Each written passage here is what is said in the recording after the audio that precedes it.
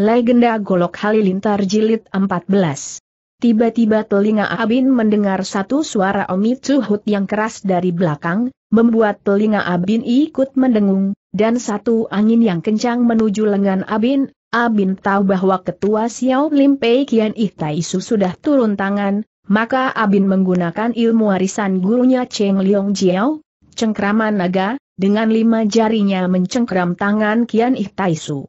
Kian Ihtaisu melihat Abin bisa begitu cepat bereaksi, segera menarik tangan kembali, namun tulang lengan sudah terkena sapuan ujung jari Abin. Melihat tangan Kian Ihtaisu hanya terkena sapuan, Abin memuji Kian Ihtaisu yang berlimu tinggi, segera berkata, Harap Taisu berhati ulas asih, berikan waktu untukku bicara. Tapi wajah Kian Ihtaisu tetap sangat dingin dan dengan dingin berkata lagi. Sicu, Kau sangat pintar berpura-pura, mulai hari ini aku tidak berani mengatakan aku punya kemampuan bisa melihat muka orang lagi, kau mau bicara apa lagi habis bicara, dia menyerang Abin lagi. Abin tidak bergerak di tempatnya, hanya menggerakkan tubuh atasnya sedikit. Menghindarkan serangan telapak tangan Kian Ihtaisu, balik menyerang satu pukulan dan dua totokan, memotong dua jurus lawannya, Ketika punya kesempatan dia berkata lagi. Taisu. Kau harus berpikir cepat, Jian Qin Ka segera akan menyerang, di saat itu semua nyawa biara menjadi terancam, kau akan menyesal. Kian Ih Taisu yang didesak mundur oleh Abin, menjadi semakin marah setelah mendengar kata-kata Abin, sahutnya. Si Chu masih bandel demikian rupa, sampai detik ini pun masih berani berkata mengancam, bila bukan olehmu, apakah tindakan Jian Qin kau akan berhasil? Setelah berkata, Kian Ihtaisu menyerang tujuh delapan jurus berturut-turut. Abin menggunakan telapak tangannya menutup semua serangan Kian Ihtaisu, sekarang dia menyesal kenapa dia kembali ke biara untuk memberi kabar, dia seperti terjebak dan tidak berpeluang untuk membongkar siasat Jian Qin Kau, dia menyayangkan peramal Jitu Cukat Hi yang tidak ada di tempat itu, sehingga menutup kemungkinan bagi Abin bisa berbicara. Pada waktu bersamaan, tidak jauh dari biara terdengar suara terompet sebanyak tiga kali, yang nada bunyinya sangat sedih seperti irama mengantar orang mati, Kian Ihtaisu terperanjat, dan Abi ingat pesan yang beberapa kali diucapkan wanita berbaju putih itu, dalam hati dia berkata, celaka, keringat dingin tidak berasa bercucuran. Bab Serangan besar-besaran. Pikiran Kian Ihtaisu terganggu sebentar, setelah mendengarkan suara terompet yang sedih itu, dia melanjutkan serangan yang dahsyat pada Abin pada detik ini Abin pun tidak punya pikiran untuk menjelaskan lagi pada Kian Ih dan Soat Song. Dia hanya ingin keluar dari kepungan mereka, dia ingin berusaha dengan tenaga sendiri mencegah serangan Jian Kin Kau, maka Abin menyerang Kian Ih Taisu dengan tiga jurus telapak tangan dan empat kali tendangan kaki. Kian Ih Taisu jadi terdesak mundur oleh serangan Abin, Sangguan Leng yang menyaksikan duel itu di pinggir, melihat Abin berniat melarikan diri, dia berteriak. Melawan orang yang licik dan berbahaya ini, kita tidak perlu memakai tata krama dunia persilatan lagi, kita sama-sama menangkap dia dulu. Maka Sangguan Leng menggunakan cakarnya menyerang punggung Abin, Abin menghindar ke samping, menghindari sepasang cakar Sangguan Leng, malah mendekati Kian Ihtaisu, pura-pura akan menyerang sebetulnya ingin melarikan diri keluar. Kian Ihtaisu berkata, Onmi Tuhut, Pinceng tidak akan membiarkan kau lari sambil menyerang dengan dua telapak tangan.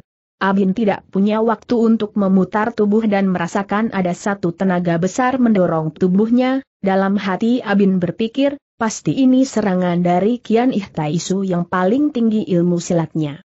Abin segera menjatuhkan tubuh ke kiri, seperti roboh ke tanah, saat tubuh Abin hampir mencapai tanah, ujung kaki Abin segera menekan tanah, hingga tubuh Abin berbaris di atas muka tanah melesat seperti anak panah.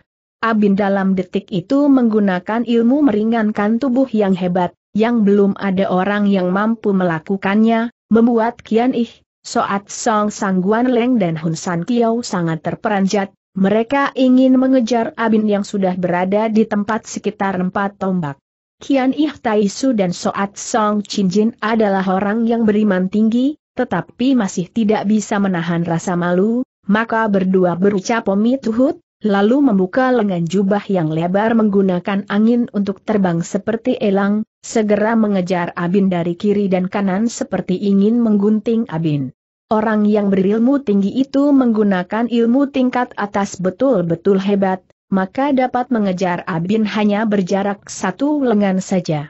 Abin tidak melihat ke belakang, tetapi dari suara angin mengetahui ada dua orang kuat mengejar, Pasti Kian Ih Taisu dan Soat Song Chin Jin, Abin tidak takut, hanya khawatir bila terkejar oleh mereka.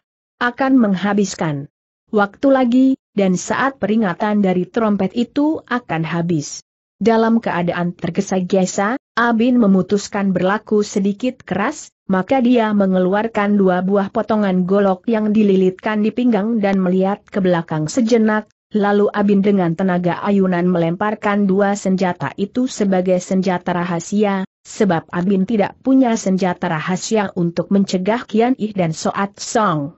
Lemparan Abin cepat sekali, dan dua orang pengejar itu tidak tahu sifat dari senjata rahasia Abin, maka tidak berani Semirono untuk memukul jatuh, mereka hanya berkelit menghindar senjata rahasia Abin itu. Pertarungan jago tingkat tinggi, Waktu sedetik pun menjadi masalah penting, tindakan Abin tadi berhasil menahan lawan mengejar sejenak, maka dia segera meloncat terbang jauh, sekejap mata sudah hampir memanjat tembok biara. Tetapi Abin tidak menyangka bahwa di bawah kakinya ada hembusan angin yang mendekat dan menangkap dua kaki Abin yang belum siap mengganti nafas untuk berbuat lain. Karena Abin sedang memusatkan perhatiannya menghadapi lawan di belakangnya, dia jadi melupakan barisan lohon yang berlapis di dalam biara, baru saja Abin naik ke tembok langsung ada dua orang yang menangkap kakinya. Dalam hitungan detik, pikiran Abin berputar seperti roda, bila dia tidak mau melukai orang ini, bisa hilang kesempatan yang berharga, maka Abin segera menjulurkan kedua tangan menangkap pundak kedua Hoesyo itu, menekan dengan tenaga dalam sambil memusatkan tenaga di kedua kaki sambil berteriak, kemudian tubuh Abin membungkuk ke belakang, dengan kedua kaki yang dipegang Hoesyo menjejakkan kakinya ke dada kedua Hoesyo itu, pada detik yang genting itu, serangan Kian Ih Taisu dan Soat Song Chin Jin pun bersamaan datang menyerang kepada Abin. Abin memperkirakan jurusnya cukup cepat, bisa melumpuhkan kedua Hoesyo yang di bawah dan ada waktu menghadapi serangan dua orang lainnya. Masalah kembali timbul bila tendangan Abin tidak mengerahkan tenaga penuh, dia tidak dapat meminjam tubuh orang ini dan mengganti jurus, bila mengerahkan tenaga penuh, kedua Huasyo itu akan mendapat cedera atau mati. Abin tidak ingin berbuat kejam terhadap Huasyo dari biara Xiao Lim. Karena keragu-raguan Abin, saat dua Huasyo yang di bawah mengeluh kesakitan dan jatuh ke tanah, Bersamaan itu pula pukulan Kian Ih Taisu dan Soat Song Chin Jin sudah mendarat di tubuh Abin, sehingga tubuh Abin terpukul terpental sampai beberapa tombak jauhnya. Sebetulnya Kian Ih Taisu dan Soat Song Chin Jin melihat Abin tidak mau melukai dua Hoesyo yang memegang kakinya, saat mereka ingin menghentikan serangannya namun sudah terlambat, mereka hanya bisa menggeserkan arah serangannya sehingga serangan mereka akhirnya mendarat di bagian tubuh Abin yang tidak mematikan. Karena tidak ingin melukai orang, akhirnya Abin tidak bisa memusatkan tenaga dalam untuk menjaga diri, dua pukulan dari kedua guru besar itu membuat jantung Abin mengalami goncangan hebat, membuat dada Abin terasa sesak dan darah terasa bergejolak. Pada saat itu, terdengar dua suara perempuan yang berteriak terkejut, dua bayangan hitam seperti elang datang mendekati Abin. Satu suara yang terdengar cemas bertanya, Luwiko, apa kau terluka? Ini adalah suara In Hang Tai yang nada suaranya penuh perhatian terhadap Abin. Satu suara lagi mengecam tindakan Kian Ih Tai Su dan Soat Song Chin Jin dengan berkata, Kalian betul-betul mencelakakan dia. Itu suara Giok Xiao Qian yang juga sama-sama khawatir atas keselamatan Abin. Ucapan dari kedua gadis itu membuat kedua orang guru besar dari dua partai besar itu merasa malu. Bersamaan waktu itu di luar biara terdengar suara musik dari alat bambu yang biasa mengeluarkan suara indah dan merdu, tetapi sekarang berubah menjadi suara yang tidak enak didengar dan menusuk kuping dan jantung, sebab suara musiknya seperti gorila atau setan berteriak-teriak, Suara yang terdengar tengah malam ini bukan saja membuat bulu kuduk berdiri, malah membuat orang seperti berada dalam suasana kematian. Abin segera memaksakan tubuh berdiri dan berteriak, itu suara Jian Kin Kau yang akan mulai menyerang dia.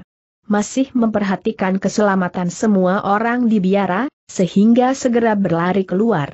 Kian Ih Taisu dan Soat Song Chin Jin sudah tidak curiga lagi pada Abin, Meskipun tidak mengerti betul apa maksud bantuan Abin, tetapi yang jelas Abin bukan dari Jian Kin Kau. Maka kedua ketua partai besar itu saling berpandangan, bersama-sama mengikuti Abin menyambut musuh yang datang. Hang Tai dan Xiao Qian lebih percaya pada Abin, juga lebih mengkhawatirkan keadaan Abin yang terluka, maka mereka berdua lebih cepat berlari di kiri dan kanan Abin persis seperti mengawal Abin. Mereka meloncat tembok menembus halaman biara, sepanjang jalan Huasyo Huasyo di sana sudah tidak menghadang lagi, maka dalam waktu singkat, kelima orang itu sudah berada di pintu depan biara Xiao Lim. Pengurus Xiao Lim Hang Ie Taisu mendampingi Jik Ie dan anak buah sebanyak sepuluh orang yang terpilih menjaga pintu masuk biara. Hang Ie Taisu melihat kedatangan Abin diikuti oleh ketua partai, dia memperkirakan Abin sekarang bukan musuhnya lagi, mula-mula dia merasa terkejut juga, segera menghampiri Abin, memberi salam dan berkata, Tadi aku ceroboh menghadangmu, harap dimaafkan. Abin tidak memperdulikan basa-basi Hang Ie Taisu, dia hanya menganggukkan kepala, lalu mata Abin melirik ke hutan di bagian barat.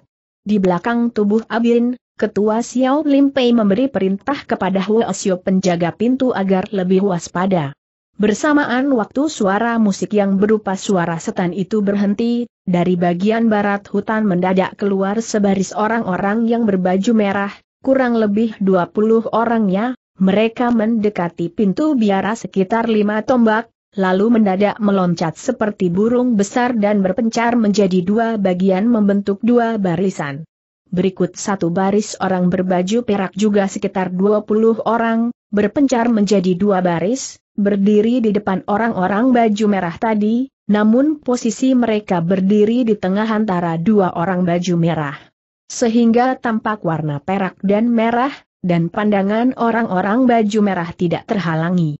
Barisan ketiga bagaikan bintang meledak, Secara bersamaan meloncat delapan orang baju emas dan berdiri di depan dua puluh orang baju perak. Semua murid-murid Jian Qin yang berjumlah empat puluh delapan orang, mereka masing-masing memakai kedok muka yang sama warnanya dengan baju mereka, hanya sembilan puluh enam meter berwarna hitam yang terlihat dari kedok muka itu.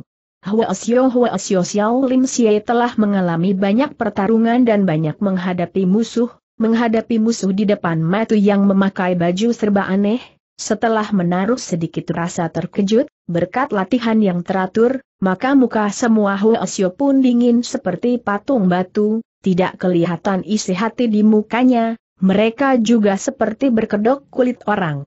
Barisan lawan berlanjut terus, empat orang baju hitam yang seperti setan gentayangan melayang-layang sebab kedok mereka sangat menakutkan, Abin mengetahui mereka adalah pimpinan penting dari Jian Qin Kau. Loncatan keempat orang baju hitam itu membuat posisi seperti telah diatur sedemikian rupa dengan murid-murid yang berbaju tiga warna itu, sehingga menjalin pertahanan yang kokoh dan sulit ditembus. Dan setelah barisan mereka tersusun, suara musik dari alat bambu mengudara lagi melalui celah-celah pohon, musik kali ini mulai enak didengar, seperti burung berkicau, seperti serangga bernyanyi, hanya bagi orang-orang biara, suara musik itu membuat hati mereka tergoncang, timbul rasa sedih, kosong, jiwa menjadi turun semangat, dan timbul sedikit hasrat untuk menuju kematian. Kian Ih Taisu dan Soat Song Chin Jin yang begitu tinggi imamnya turut tergoncang sejenak, Mereka berpikir musik kali ini lebih mengerikan dari musik permulaan, yang hebat membuat orang yang mendengarkan timbul perasaan tunduk, dan dikuasai oleh musik gaib itu. Maka mati mereka berdua melihat orang-orangnya, selain Abin dan Hang Ie, Jit Ie mempunyai dasar iman yang kuat, semua murid Xiao Lim seperti terpengaruh oleh musik gaib itu, sampai Hang Tai dan Xiao Qian pun kelihatan risau. Kian Ihtaisu segera memusatkan tenaga dalam yang terlatih selama 10 tahun, membuka mulut dan bersuara Omi Cuhut yang keras, bunyi suara guru besar itu menembus langit, gema suara hingga mencapai lembah gunung di sekitar biara, lama tidak berhenti. Suara Omi Cuhut yang keras itu menyadarkan pikiran Hang Tai, Xiao Qian dan semua murid Xiao Lim Xie yang terlena. Mati mereka langsung mengawasi lagi barisan Jian Qin Kau. Setelah musik tadi berhenti, keluar seorang wanita berbaju putih dari pepohonan, melihat dia berjalan begitu gemulai, pelan-pelan tapi cepat, mukanya ditutupi oleh kain putih, tetapi sikapnya mempunyai kewibawaan yang membuat orang takut, bila bukan empat baris orang yang berbaju merah perak, emas dan hitam yang mendampingi perempuan ini, orang tidak percaya bahwa dia seorang pemimpin dari semua laki-laki yang berbaris itu gerak-gerik dia yang begitu manis, tiap langkah yang penuh puitis, orang tidak akan menyangka dia adalah pemimpin aliran yang kejam. Begitu wanita berbaju putih itu menampakkan diri, Huasyo Huasyo yang berdiri di belakang guru besar Hang Ie dan Jit Ie jadi tertegun, muka dua guru besar itu pun tampak berbeda, hanya ketua partai Xiao Lim dan Butong tidak tergoda oleh kecantikan wanita itu. Karena pembawaan sifat wanita, Hang Tai dan Xiao Qian pun melototi wanita berbaju putih itu, seperti ingin menembus kain putih yang menutupi muka wanita itu, ingin melihat jelas muka asli wanita itu. Untuk ketiga kalinya Abin bertemu dengan wanita ini, melihat kedatangan yang begitu menawan, hati Abin pun sedikit tergugah, langkah kaki Abin tidak terasa maju sekitar lima langkah baru berhenti.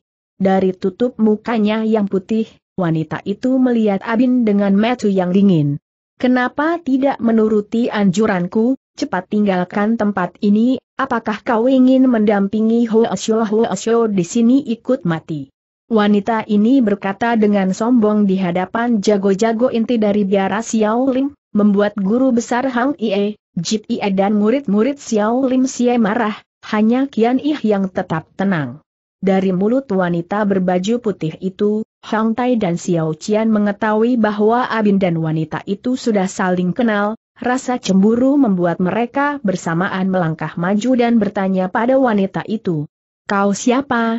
Wanita berbaju putih itu tidak menjawab, tatapan matanya melintas di muka Hang Tai dan Xiao Qian, berkata dengan menyindir. Siapa aku? Apa perlunya bertanya begitu? Jawaban itu sangat indah sekali, Hang Tai dan Xiao Qian dibikin tercengang, tidak bisa bertanya lagi, wanita berbaju putih itu sambil tertawa mencemoohkan Abin dengan kata.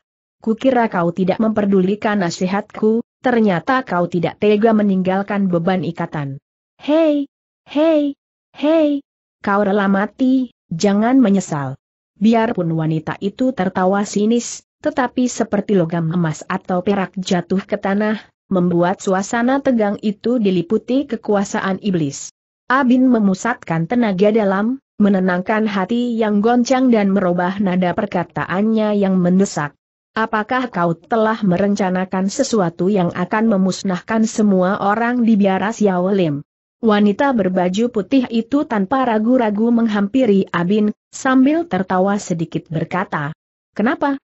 Buat apa kau tanya lagi? Apakah kau ingin minta ampun padaku demi mereka?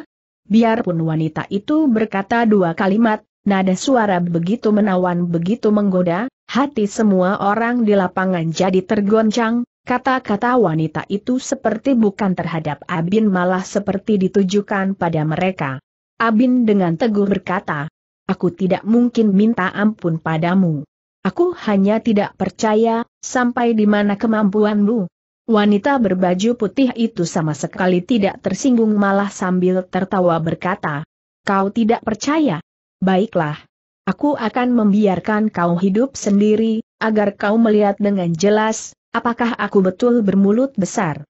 Ketua Xiao Lim tetap diam selama wanita berbaju putih itu menampakkan diri, dia hanya memperhatikan dengan diam-diam, seperti ingin mengetahui asal-usul wanita itu, dan setelah tiba waktu dia untuk bertanya pada wanita itu, maka dia berucap sekali kata Omi Chuhut.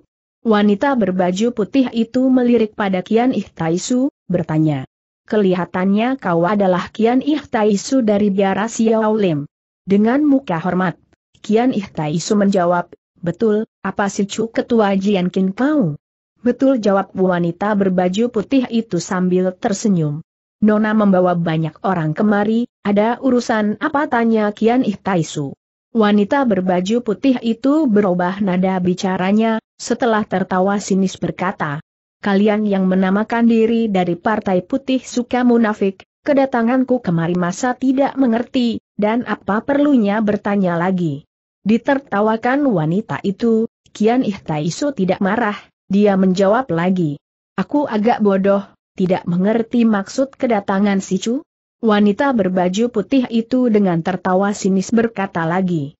Kau pura-pura bodoh, aku tidak punya waktu beradu mulut. Aku tegaskan, aku akan membawa semua murid Xiao Lim dan semua tamu di biara ini untuk bergabung dengan Jian Qin Kau. Kian Ihtaisu masih dengan sabar bertanya. Kau menganggap pekerjaan ini sangat mudah, apakah kata-katamu tadi mempunyai kekuatan sangat hebat?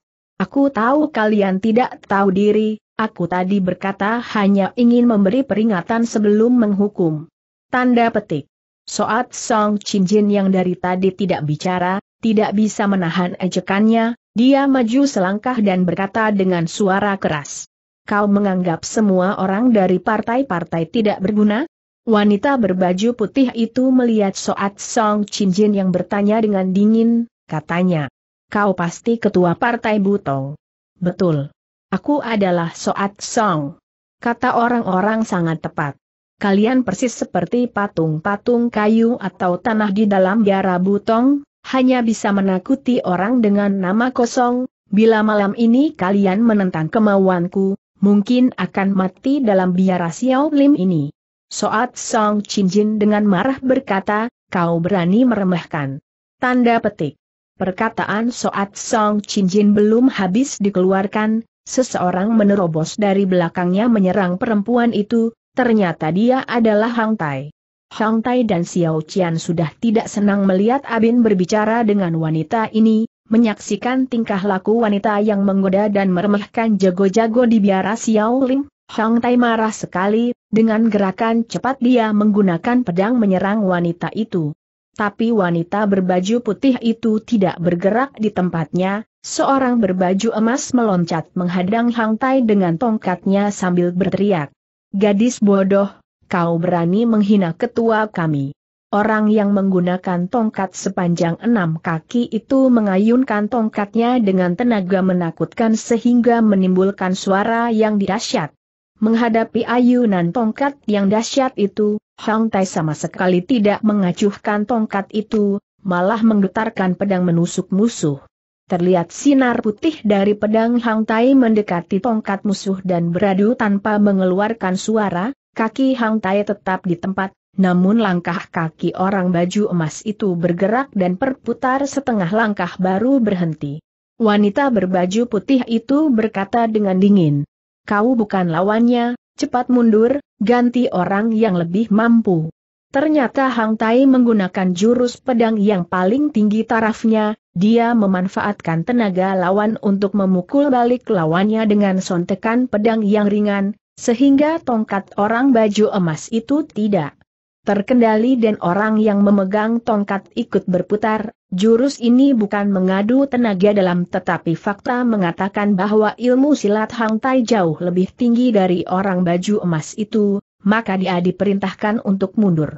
Segera seorang baju hitam yang memegang pedang kail maju ke depan, tangan kirinya menunjuk Hang Tai dan berkata, Kau, ayo maju lagi. Hang Tai mengangkat tangan kanan, pedang awannya dengan pelan-pelan menusuk dada lawannya. Orang baju hitam itu melancarkan jurus Wante Hoan Im, di dalam tangan membalikan awan, pedang kail yang dipegangnya menyodok pedang Hang Tai dari bawah. Tapi Hang Tai yang mengarahkan pedang ke depan mendadak diturunkan ke bawah, dan jurus yang pelan berubah menjadi sangat cepat seperti kilatan listrik, memotong tangan kanan orang baju hitam. Perubahan jurus pedangnya, dalam menghindar dan menyerang seperti bersama-sama, betul-betul tidak mengecewakan jurus pedang keluarga Hin. Orang baju hitam itu menggoyangkan pundak dan segera mundur tiga kaki. Gerakan orang baju hitam itu ternyata kalah cepat dari jurus pedang Hang Tai, kilatan pedang Hang Tai telah merobek lengan baju kanannya dan darah pun bertetesan ke tanah. Wanita berbaju putih itu berkata dengan dingin, lukamu sangat ringan, tidak perlu gugup, sabarlah. Menghadapi dia, kau masih bisa melawannya.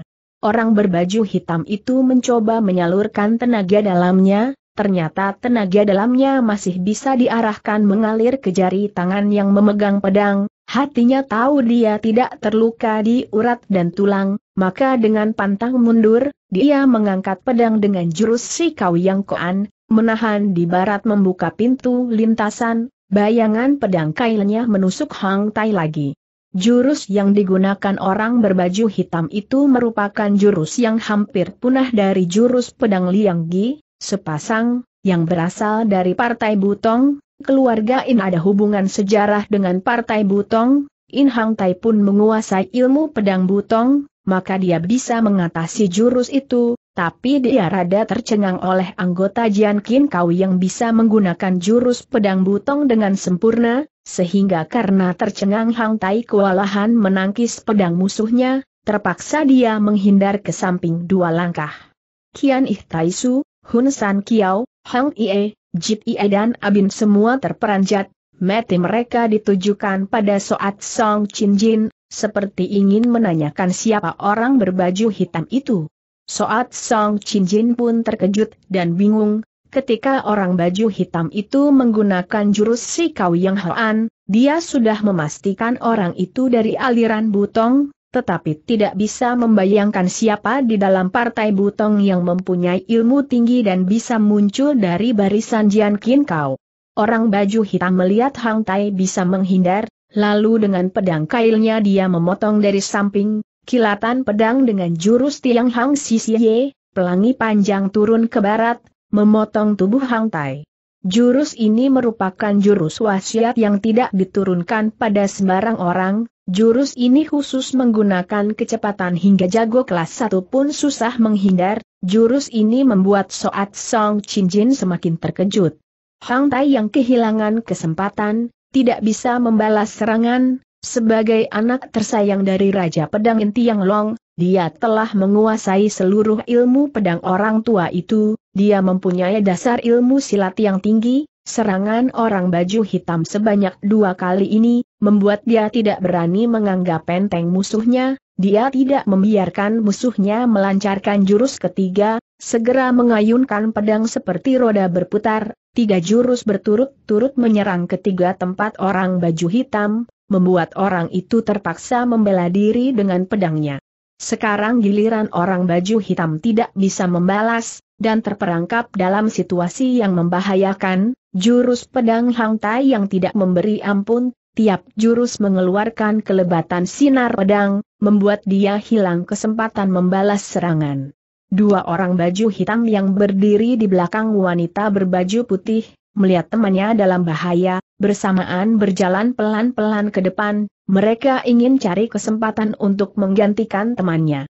Karena jurus Hang Tai tidak berhenti seperti sungai panjang, dan angin serangan pedangnya mendesak orang-orang yang berusaha mendekati, maka mereka tidak mendapat kesempatan untuk membantu temannya. Orang baju hitam yang terdesak itu mendadak berteriak dengan keras, dengan jurus yang dinamakan Soan Choan Chian Kin, bumi berputar, salah satu jurus sampuh dari Bu. Tong lagi, segera menciptakan titik-titik bintang bertebaran sehingga membuat Hang Tai terdesak mundur. Tapi hanya sebentar, pedang Hang Tai dengan jurus Tian Hang Cakie, langit dan angin mendadak keluar, sudah kembali menyerang dari sisi kiri, memotong tangan kanan musuh, dan memaksa musuhnya mundur selangkah. terdengar suara Omi Hut dari belakang Hong Tai, diikuti suara Soat Song Chin yang terdengar nyaring, katanya. Harap Nona In berhenti dulu, aku ingin berkenalan dengan teman yang mahir menggunakan jurus dari Partai Butong. Mendengar permintaan Soat Song Chin Hong Tai segera menghentikan pertarungannya, dia sendiri pun ingin mendapatkan keterangan tersebut. Soat Song Chin mendekati orang baju hitam itu dan mengawasi kedok mukanya yang penuh kemunafikan, sepertinya ingin mengenal muka asli orang itu, dan dengan suara tegas bertanya. Saudara bisa menggunakan jurus pedang butong demikian hebat, pasti orang perguruan kami, bisakah sebutkan nama perguruanmu, bila saudara suhengku, aku akan memberi salam hormat, sehingga aku tidak sampai berbuat tidak tahu aturan. Setelah Soat Song Chin menyebut orang yang dari Jian Kin Kau itu sebagai saudara seperguruan, semua orang baru meneliti orang itu, ternyata ikat kepala orang itu lebih besar dari orang yang berbaju hitam lainnya, jadi orang itu punya ikat kepala tosu persis seperti yang dimiliki Soat Song Chin Jin, maka Soat Song Chin Jin bisa langsung mengatakan demikian.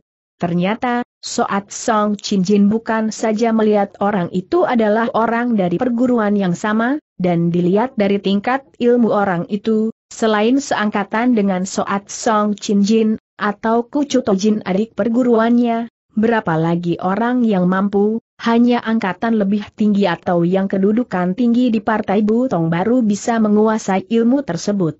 Tetapi Kucu Cincin terluka dan sedang berbaring di dalam Xiao Lim, dua adik perguruan lain menjaga Yara Butong, jadi tidak mungkin menjadi antek musuh. Karena tidak bisa membayangkan siapa lagi yang diperankan oleh orang Jian Kin Kau itu, maka Soat Song Cincin bertanya pada orang berbaju hitam itu.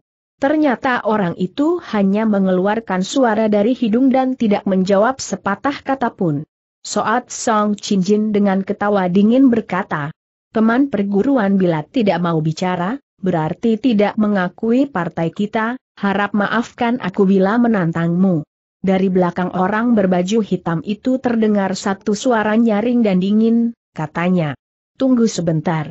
Suara itu tidak keras, tetapi seperti air perak masuk ke dalam telinga orang, jelas sekali, menggetarkan jantung.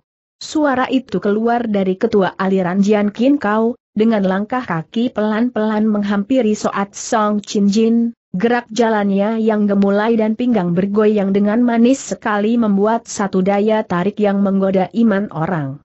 Orang yang berbaju hitam itu melangkah ke pinggir. Wanita berbaju putih itu melirik muka Soat Song Chin Jin, melalui kain penutup muka, dengan nada sindiran bertanya. Kau ingin tahu dia siapa? Kenapa Soat Song Chin Jin dengan tegas berkata? Betul. Aku ingin tahu apakah dia orang dari perguruan kami atau bukan, dan setelah jelas, aku akan mewakili kakek guru menghukum murid yang melanggar aturan partai, pengkhianat yang tidak mau menerangkan identitas sebenarnya. Wanita berbaju putih itu dengan ketawa sinis berkata, Rahib tua. Pikiranmu bagus, apakah kau tahu, umur? Kalian tinggal berapa menit lagi, kau sendiri pun segera mati, mana ada waktu lagi mengurusi hal itu. Soat Song Chinjin dengan muka dingin berseru, gertakan, mana bisa menghalangi aku bertindak. Kau anggap aku omong kosong, lihat saja, sambil mengangkat sebelah tangannya yang munggil ke atas, segera orang-orang aliran Jian Kin kau maju ke depan. Orang berbaju hitam yang menggunakan pedang kail maju pertama, dengan jurus Liong Hui Chai Tian, naga terbang di langit, pedang orang ini sangat mahir ditambah tenaga dalam yang kuat, dan jurus paling dahsyat dari butong yang digunakan membuat serangan yang hebat. Soat Song Chin dengan jurus Heng Kang Chie Tou, memotong datar kepala perampok, memotong pedang lawan dari samping menutup serangan orang berbaju hitam. Tetapi dari samping tubuhnya sebuah pukulan yang keras menyerang, Soat Song Chin terpaksa mundur tiga langkah, segera menggunakan jurus Tian Hotu Kua, langit dan sungai menggantung terbalik, melancarkan tujuh perubahan dalam satu gerakan, menutup serangan dua musuh. yang menyerang dengan kepalan dari samping ternyata adalah orang yang dipanggil Paulit yang melawan Abin tadi. Setelah menyerang Soat Song Chin Jin, Paulit segera merubah arah, mendadak menyerang Hang Ie Taisu dengan kepalanya. Hang Ie Taisu berucap Hut satu kali, dia menerima pukulan Paulit dengan telapak tangan, kedua tenaga itu bentrok seperti menimbulkan angin puyuh, membawa hawa udara yang dingin, berkekuatan seperti bisa merobohkan gunung menimbun lautan, dua kekuatan itu mempunyai kekuatan seimbang. Abin pun mengeluarkan sebuah pukulan telapak tangan, menahan seorang berbaju hitam yang menyerang, orang itu mendadak menggunakan gerakan dari aliran tanah barat, Sieu, yang dinamakan Choan Hang Tun Seng, angin berputar menghapus bayangan, tubuh berputar beberapa kali, orang itu tetap mendesak maju, menghindar pukulan Abin, langsung menyerang Kian Ihtaisu. Suara musik yang mengganggu kuping itu terdengar lagi, maka orang-orang dari aliran Jian Kin Kau, yang berbaju hitam, emas, perak, merah bersamaan ingin menerobos masuk ke biara.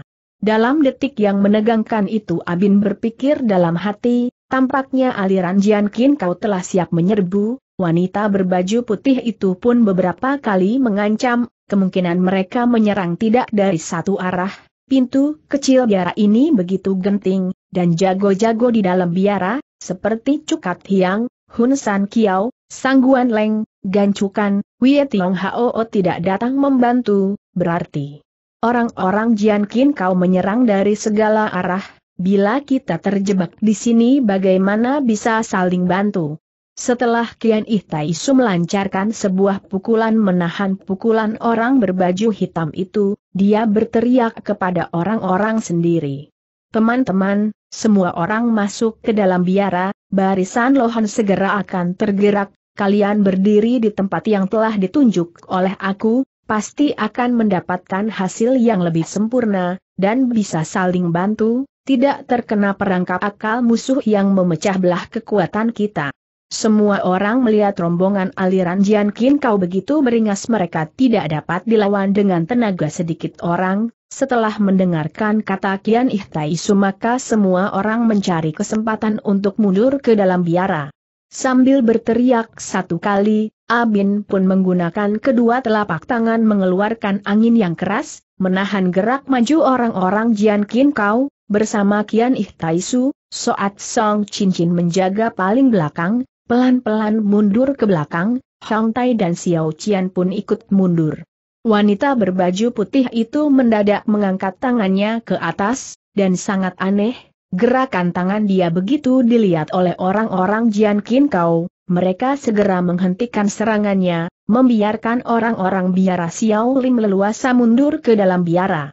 Melihat gerakan itu, Abin mengerutkan bulu alis mata berpikir, wanita berbaju putih itu tidak menyerang terus di luar biara, malah sengaja agar kita masuk ke biara, kelihatan mereka ada rencana sesuatu yang telah diatur dalam biara. Kecurigaan Abin tersebut langsung disampaikan pada kuping pribadi Kian Ih Taisu dengan ilmu mengirimkan suara jarak jauh. Taisuhu harap perhatikan, orang-orang aliran Jian Kinka seperti mendesak kita masuk ke dalam biara, Mungkin ada rencana tertentu, bila kita semua orang masuk ke dalam, agar kita masuk perangkap mereka. Pendapat aku, agar kekuatan kita disebar di luar dan di dalam biara, mereka pasti akan ragu-ragu melaksanakan gerakan itu. Kian Ihtaisu pun punya kecurigaan itu, setelah dipertegas oleh Abin, seperti mendapat hikmah, maka langsung memberi pesan rahasia pada Jit Ietaisu yang berdiri di samping, agar dia memimpin semua rahib dalam biara untuk membentuk barisan lohon, dan dengan ilmu mengirim suara jarak jauh memberitahu Soat Song Chinjin dan Hun San Kiao untuk berhenti di tempatnya. Melihat semua orang berhenti langkah mundur, Hang Tai dan Xiao Qian, juga sepuluh murid Xiao Lim turut berhenti, tujuh jagoan silat, Kin Ih, Hang Ie Taisu dari Xiao Lim, Soat Song Chinjin dari Butong, Hun San Kiao dari Kunlun Pai, Hang Tai, Xiao Qian dan Abin persis berdiri di bawah pelang nama Xiao Lim yang warna emas. Wanita berbaju putih itu melihat pihak lawan berhenti, merasa terkejut dan di luar dugaan, segera dengan ketawa dingin berkata, Kenapa? Kalian mendadak tidak takut mati lagi. Pihak Xiao Lim dari jago tua dan anak muda berdiri sejajar agak setengah melingkar, muka mereka nampak serius menghadap bahaya, 14 mata menatap barisan musuh. Wanita berbaju putih itu ketawa terbahak-bahak dengan nada panjang, suara ketawa itu menembus awan, bergema di seluruh daerah Xiao Lim, lama baru berhenti. Sejenak setelah habis ketawa, wanita berbaju putih itu melambaikan tangan munggil, menunjuk seorang berbaju hitam maju ke depan, sambil berteriak pada Kian Ihtaisu. Hwa tua, kalian tujuh orang ingin cepat mati di bawah pintu Xiao Lim saja bereskan, sekarang siapa yang duluan maju menerima hukuman mati? Hang Ie Taisu menyaksikan jago-jago dari luar Xiao Lim yang membela Xiao Lim, dia jadi merasa agak kesungkan, tanpa menunggu perintah ketua Xiao Lim, segera maju ke depan sambil berkata Omi Tuhut sekali, dan bicara pada wanita itu. Aku adalah pengurus biara Hang Ie Taisu. Orang berbaju hitam dari aliran Jian Qin kau menjawab, kau Hang Ie Taisu atau Pek Ih, terima dulu tiga jurus. Pedangku. Begitu habis bicara dia langsung menusuk lawan dengan jurus Kong Piao Si Lai, angin ribut dari barat datang. Hang Ie Taisu menjadi marah oleh tingkah kurang ajar musuhnya, dengan jurus Hengkan Chietou dia menutup serangan pedang lawan. Orang berbaju hitam itu tidak memberi kesempatan buat Hang Ie Taisu untuk membalas, pedang di tangan diayunkan ke kiri dan ditusukkan ke kanan, melancarkan serangan dua jurus berturut-turut, sinar pedang yang menciptakan bunga pedang menghantam Hang Ie Taisu. Hang Ie Taisu tertawa sinis, tongkat besinya melindungi tubuh dengan jurus si etapa kau, hujan menghantam. Sejenis pisang, membuat bayangan tongkat dan pedang bentrok sehingga mengeluarkan suara ting, tung, ting, tung, serangan pedang orang berbaju hitam jadi terbuka lebar, Hang Ie Taisu sambil berucap Pomi Tuhut, tongkat besi yang dipegang diangkat ke atas dengan jurus Ciasan Chow Hai, mengapit gunung melewati lautan. Jurus Hang Ie Taisu yang dilancarkan begitu keras, membuat orang berbaju hitam yang sadis itu pun tidak berani menerima pukulan itu, dia segera melangkah mundur sekitar lima kaki. Ketua Butong Soat Song Chin Jin, adalah ahli ilmu pedang yang mahir, melihat orang berbaju hitam itu melawan Hang Ie Taisu dengan pedang, berarti sudah tiga orang dari aliran Jian Qin Kau yang menggunakan pedang, dan orang ini yang paling lemah dalam ilmu pedang, kenapa wanita berbaju putih itu malah menyuruh dia menantang pertama, kelihatan agak ganjil. Hang Ie Taisu dan orang berbaju hitam itu sedang beradu jurus, angin dari tongkat seperti angin puyuh, sinar pedang bagaikan layar. Saat pertama kali orang berbaju hitam itu menyerang, jurus pedang sangat variasi dan bertenaga, tetapi sekarang serangannya malah menjadi kendur. Sebaliknya Hang Ie Taisu semakin lama semakin gagah, pukulan tongkat besinya semakin keras, sinar pedang lawan ditekan semakin lemah dan kecil. Mendadak terdengar suara teriakan, orang berbaju hitam itu berbalik menyerang, menerobos bayangan tongkat Hang Ie Taisu yang berlapis, lalu meloncat mundur sekitar satu tombak. Hang Ie Taisu tidak mengejar musuhnya, dia berhenti dan berucap Pomi Out. Terdengar ketawa keras dari orang berbaju hitam itu dan katanya, Hwasyo tua, kau jangan gembira dulu, cobalah hadapi senjata rahasiaku, bagaimana berani tidak dan tanpa menunggu jawaban lagi segera mengayunkan lengan kiri, satu gulungan sinar mas menuju Hang Ie Taisu. Hang Ie Taisu melihat benda itu, seperti bentuk sekoci, dia ingin menghindar ke pinggir, tetapi melihat di belakang tubuh berdiri enam orang, khawatir mereka tidak memperhatikan dan terluka, maka dia mengangkat tongkat ke atas memukul senjata rahasia itu. Pukulan Hang Ie Taisu persis memukul sekoci emas itu, terdengar suara logam beradu, sekoci emas itu pecah dan menumpahkan api berwarna biru menuju muka Hang Ie Taisu. Berhasil memukul sekoci emas musuh, Hang Ie Taisu tidak keburu menghindar api berwarna biru itu dan mengenai baju bagian dada Hang Ie Taisu. Terkena percikan api, Hang Ie Taisu tetap tenang, meloncat ke belakang sekitar tiga kaki, dengan telapak tangan ingin memadamkan api di dada. Ternyata begitu tangan Hang Ie Taisu beradu dengan api warna biru itu api malah meremit ke lengan baju. Dalam hitungan detik, seluruh tubuh Hang Ie Taisu terbakar oleh api berwarna biru, membuat muka Hang Ie Taisu berwarna biru juga. Karena tidak berhasil memadamkan api di tubuhnya, Hang Ie Taisu menjadi gugup, dengan muka sedih dan marah, berteriak sekali, dan mengejar orang berbaju hitam itu. Angin malam meniup baju Hang Ie Taisu yang terbakar, seperti tubuh dia satu ekor burung turun dari udara. Orang berbaju hitam itu sedang merasa senang karena berhasil melukai Hang Ie Taisu, mendadak mendapat serangan dari udara oleh Hang Ie Taisu yang penuh bara api di seluruh tubuh, dia menjadi takut sekali, dia tahu orang yang hampir putus asa susah dilayani, maka dia tidak berani menerima serangan itu, meloncat ke pinggir untuk menghindar. Terdengar suara Hang Ie Taisu dengan suara marah berteriak. Tidak boleh memberi ampun pada orang yang menggunakan senjata rahasia yang kejam. Suara Hang Ie Taisu terdengar sangat memilukan seperti gong pagi di biara tua. Pukulan Hang Ie Taisu bersamaan dengan putaran tubuhnya di udara, tongkat besi yang dipegang langsung memukul kepala musuh. Orang berbaju hitam itu menjadi panik, dia tidak berani menerima pukulan itu, dia meloncat lagi ke pinggir sejauh delapan kaki dengan tenaga penuh. Hang Ie Taisu dengan suara hidung berbunyi satu kali, pukulan tongkat besi itu memukul tanah, tubuh dia terbang ke atas lagi dan mengejar sasarannya. Loncatan Hang Ie Taisu yang tidak mendarat di tanah sebanyak tiga kali naik turun memperlihatkan ilmu ringan tubuh dia yang begitu tinggi. Orang berbaju hitam itu berhasil menghindar dua kali, tetapi tidak bisa menghindar untuk ketiga kalinya, dia menghela nafas sekali, pikirnya dalam hati habislah.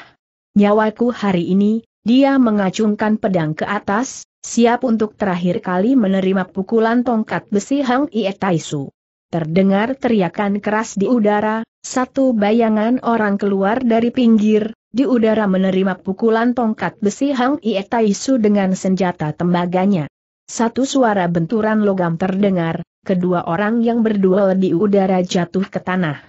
Hang Ie Taisu menahan derita karena luka bakar di seluruh tubuh, bersiap mati memecahkan kepala sendiri setelah berhasil membunuh orang yang melukai dia dengan senjata rahasia kejam, namun teman musuh yang menerima pukulan tongkat besi dia dengan senjata tembaga itu membuyarkan harapan Hang Ie Taisu. Menahan derita bakar membuat jubah abu-abu Hang Ie Taisu hampir terbakar separuh, dengan menggerakkan kedua lengan Hang Ie Taisu menjatuhkan potongan kain terbakar di tubuhnya jatuh ke tanah berkeping-keping. Hang Ie Taisu berhasil membuang sebagian baju yang terbakar, namun bara api di tubuhnya belum padam, Ternyata api racun itu sangat kuat, sehingga membakar benda yang dilalui tanpa henti.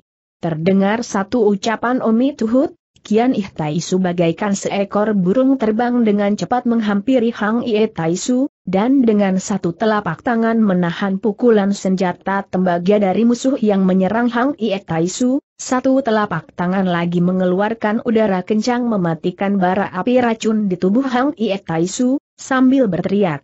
Sute cepat mundur, segera minum pil anti racun, racun yang masuk ke dalam tubuh mungkin susah dibuang.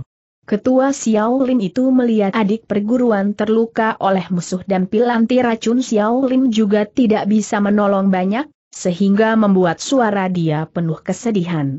Hang Ie Taisu tanpa banyak bicara, membalikan tubuh ingin kembali ke dalam biara, Abin segera menghampiri dia sambil menyerahkan pusaka anti racun hiatsan pengken sambil berkata, Guru, kau pakai hiatsan pengken ini, benda ini khusus menghilangkan segala macam racun.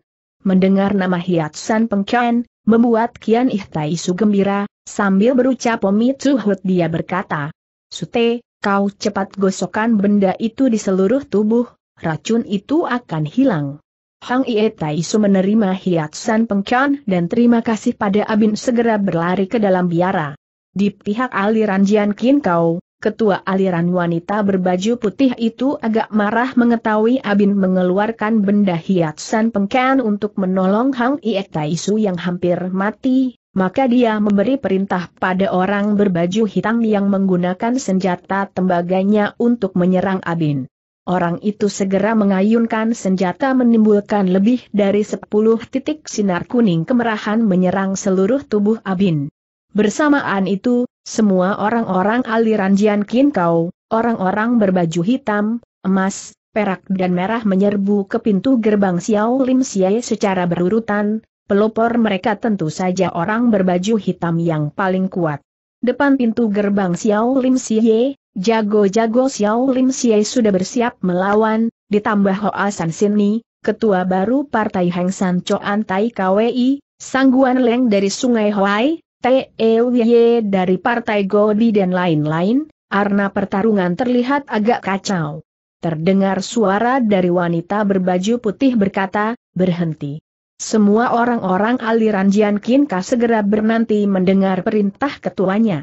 Dengan langkah indah gemulai wanita berbaju putih itu melewati semua anggota Jian dan berhadapan muka dengan jago-jago dari pihak Xiao Lim Xie, berkata dengan dingin kalian sudah melihat, apa bisa mempertahankan pintu melawan anggotaku yang begitu banyak. Sekarang aku tidak mau dikatakan mengandalkan banyak orang, hanya aku sendiri yang akan menyerang, siapa di antara kalian yang bisa menghalangi aku. Sambil bicara, wanita berbaju putih itu betul-betul berjalan sendiri menghampiri jago-jago pihak Xiao Lim Xie, matanya sama sekali tidak memandang muka mereka, tingkahnya sangat sombong.